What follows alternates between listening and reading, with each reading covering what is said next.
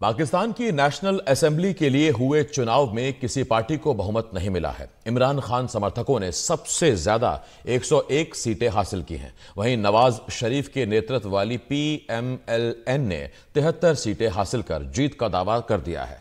तीसरे नंबर पर बिलावल भुट्टो की पाकिस्तान पीपुल्स पार्टी है, जिसने चौवन सीटें हासिल की हैं। पाकिस्तान में सरकार बनाने को लेकर नवाज़ शरीफ और बिलावल भुट्टो के हाथ मिलाने की खबरें भी आ रही हैं। इस बीच इमरान खान की पार्टी के प्रमुख ने दावा किया है कि पाकिस्तान का अगला प्रधानमंत्री कौन होगा ये इमरान खान ही तय करेंगे। फैसले पर डिपेंड करेगा। उनको दावत देंगे कि वो भी हमारे साथ